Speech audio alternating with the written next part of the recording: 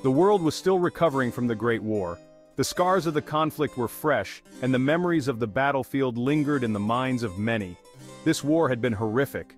Millions had perished, and countless more were left wounded both physically and emotionally. It had been fought just 20 years before. The 1920s were a time of rebuilding and reflection, as nations tried to piece their societies back together. Many people hoped for peace. But trouble was brewing. Germany was angry. The economic and political instability of the 1930s created a fertile ground for unrest. The Treaty of Versailles blamed Germany for the Great War. It imposed harsh penalties and reparations on the nation. Germany had to pay a lot of money. Germany also lost land. People were upset. The economic hardship and national humiliation fueled resentment and anger among the German populace. In the 1930s, a man named Adolf Hitler rose to power in Germany. He capitalized on the nation's discontent and promised a return to greatness. He was the leader of the Nazi Party. His vision for Germany was radical and dangerous. Hitler was a powerful speaker. His speeches were filled with fervor and nationalistic pride, captivating the masses. He promised to make Germany strong again. His message resonated with many who felt betrayed and downtrodden. Many people listened to him. Hitler had a plan. He sought to restore Germany's power and prestige on the world stage. He wanted to expand German territory. His ambitions were not limited to Germany's borders. He wanted to take land from other countries. His aggressive expansionist policies set the stage for conflict. He started by taking Austria. The annexation was swift and met with little resistance. Then, he turned his attention to Poland. This invasion marked the beginning of World War II, plunging the world into another devastating conflict. On September 1, 1939, the world watched in horror. German tanks and planes attacked Poland. This event marked the beginning of World War II. Britain and France declared war on Germany. The invasion of Poland was swift and brutal. German forces used a new military tactic called Blitzkrieg. This means lightning war in German. It involved fast attacks with tanks and planes. Poland was overwhelmed. The Polish army fought bravely, but they were outmatched. Within a month, Poland was defeated, World War II had begun. Hitler claimed that Germany needed more living space. He said that Poland was standing in the way of German expansion. Hitler also wanted to create a greater Germany. This would be a powerful German empire. Hitler believed that Polish people were inferior to Germans. This was part of the Nazi ideology of racial superiority. The Nazis believed that some races were better than others, the invasion of Poland was also a strategic move. Poland was located between Germany and the Soviet Union. Hitler wanted to control this territory. After the invasion of Poland, the war quickly spread. Germany conquered Denmark, Norway, the Netherlands, Belgium and France.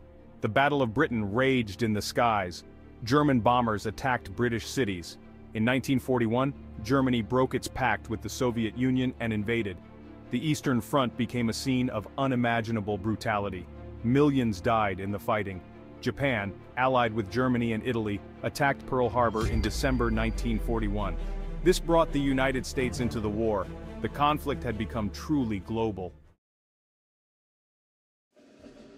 Section 5. Turning the Tide. The tide began to turn in 1942. This year marked a significant shift in the balance of power during World War II. The Battle of Midway was a turning point in the Pacific. It was a pivotal naval battle that changed the course of the war.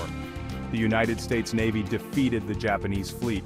This decisive victory stopped Japan's advance and gave the Allies a strategic advantage. In Europe, the Soviet Union began to push back against the German invaders. The Red Army launched a series of offensives that would eventually lead to the liberation of Eastern Europe. The Battle of Stalingrad was a major turning point, this brutal and grueling battle marked the beginning of the end for the German forces on the Eastern Front. The Germans suffered a devastating defeat. The loss at Stalingrad was a significant blow to their military might and morale. The Allies landed in Normandy, France on June 6, 1944. This massive operation was meticulously planned and executed. This was known as D-Day. The invasion marked the beginning of the end for Nazi Germany. It was the largest seaborne invasion in history. The sheer scale and coordination of the operation were unprecedented. The liberation of Europe had begun. The success of the Normandy landings paved the way for the Allied advance into occupied Europe, leading to the eventual defeat of Nazi Germany. Section 6. The End of a Nightmare. Victory in Europe and the Pacific. This chapter delves into the final moments of World War II, a conflict that reshaped the world. Germany surrendered on May 8, 1945, marking victory in Europe, also known as VE Day. This day was a monumental moment, bringing an end to years of brutal conflict on the European continent. Hitler had committed suicide in his bunker a week earlier, on April 30, 1945. His death symbolized the collapse of the Nazi regime. The war in Europe was over. Cities across the continent erupted in joy, with people flooding the streets to celebrate the hard-won peace. But Japan continued to fight. The Pacific Theater remained a brutal battleground with fierce combat and significant casualties on both sides. The United States dropped atomic bombs on Hiroshima and Nagasaki in August 1945. The devastation was immense leading to unprecedented destruction and loss of life. Japan surrendered on August 15, 1945 marking victory over Japan or VJ Day. This surrender brought an end to the war in the Pacific. World War II was finally over. The world breathed a collective sigh of relief as peace was restored. It had been the deadliest conflict in human history. The scale of destruction and loss was unparalleled. Tens of millions of people had died. The war left an indelible mark on humanity, a somber reminder of the cost of global conflict. Section 7. A World Forever Changed. World War II had a profound impact on the world. It led to the formation of the United Nations. This organization was created to prevent future wars. The war also resulted in the Cold War. This was a period of tension between the United States and the Soviet Union. Both countries had nuclear weapons. World War II changed the balance of power in the world. The United States and the Soviet Union emerged as superpowers. Europe was in ruins.